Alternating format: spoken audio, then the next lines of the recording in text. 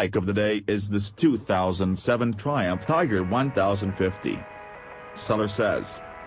Black, with only 4,500 miles on the clock, this Tiger 1050 also comes with 3 months warranty, a service before sale and a fresh mold.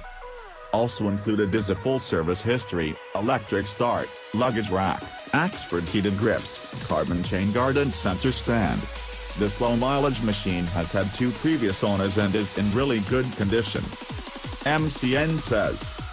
With the 2007 Tiger 1050, the Hinckley firm decided to put cross-country aptitudes to one side.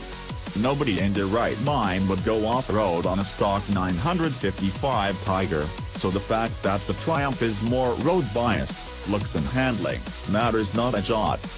It all adds up to a better road bike and for us a better motorcycle, which is what Triumph aimed at and has achieved.